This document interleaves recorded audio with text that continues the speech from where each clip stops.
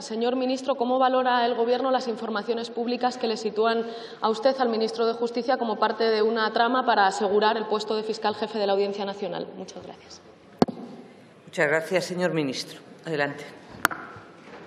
Señora Montero, pues le reconozco que me resulta muy difícil valorar lo que uno dice, que le han dicho para que diga, para que otro haga. No, no me dedico a comentar conversaciones privadas. Usted le califica de pública, yo creo que más bien privada y que no tiene ningún fundamento. En todo caso, como usted muy bien sabe, el nombramiento de los fiscales, que es de lo que va esto, se produce por el Gobierno, ciertamente, a propuesta del fiscal general, después de haberlo votado en el Consejo Fiscal. Fíjese si tiene que haber partes que tienen que eh, estar implicadas en un nombramiento como para que alguien pueda hacer esa frivolidad de dice, que le dicen, que han dicho para que hagan. Me parece que deberíamos dedicarnos a algo más serio en esta Cámara, señoría.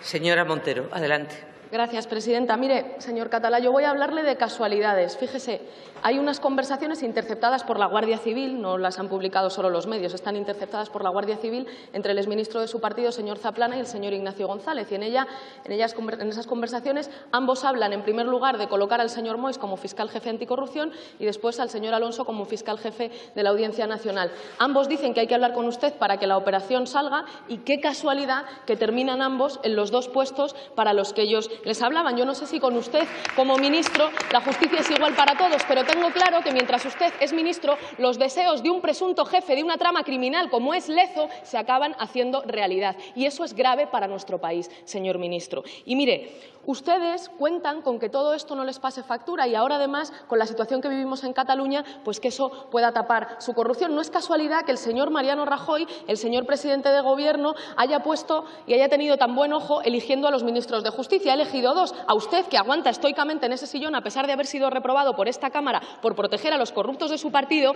y antes al señor Gallardón, que ahora está imputado por una trama de corrupción como es la trama Lezo. Y mire, a lo mejor lo próximo que ustedes tienen que hacer es situar a Ignacio González de ministro de Justicia. A lo mejor es en lo que están pensando ya. Pero mire, hemos visto algo mucho peor en estos días. Hemos visto como en esas mismas conversaciones aparece un tal Mariano que habría llamado al fiscal anticorrupción para arreglar los asuntos de corrupción del marido de la señora ministra de Defensa, la señora Cospedal. Eso también aparece en esas grabaciones. Es una lástima que ustedes no hayan podido borrar esas grabaciones 35 veces como hicieron con los discos duros de Bárcenas. Pero esas conversaciones hablan por sí solas y le voy a pedir tres cosas. La primera, la primera, que dejen de jugar con las instituciones para tapar su corrupción y para arreglar sus problemas internos. La segunda, que nos aclaren ustedes en nombre del Gobierno si ese tal Mariano es el mismo M.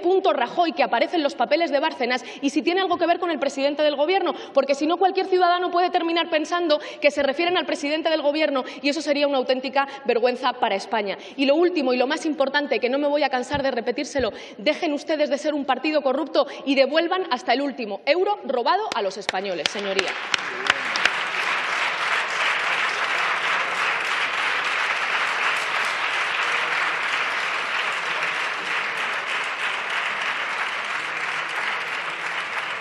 Señor ministro, adelante.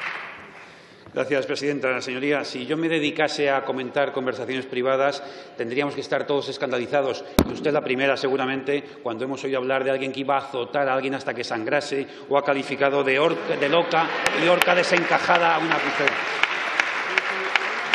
Si, si, nos preocupásemos de conversaciones privadas, el señor Illanes tendría que estar muy preocupado cuando el señor Monedero le dijo que tuviese cuidadito con lo que decía o cuando también el señor Espinar llamó subnormal a un compañero suyo. No, no, nos dedicamos a las conversaciones privadas, señoría, no nos dedicamos al cotilleo, nos dedicamos a hacer que la justicia funcione cada Silencio. día.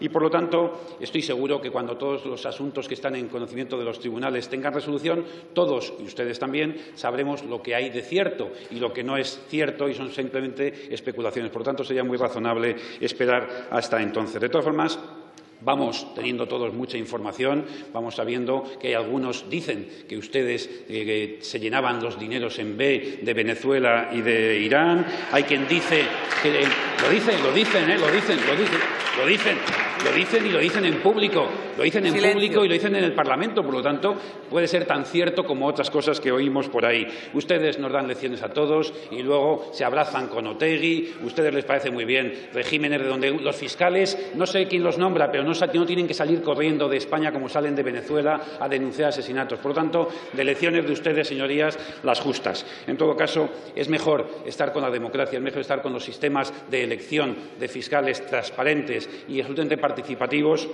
que no estar con las democracias o con los sistemas políticos más corruptos del planeta, que es donde ustedes están. Yo no quiero estar donde ustedes están y, por lo tanto, lecciones las justas de todos ustedes.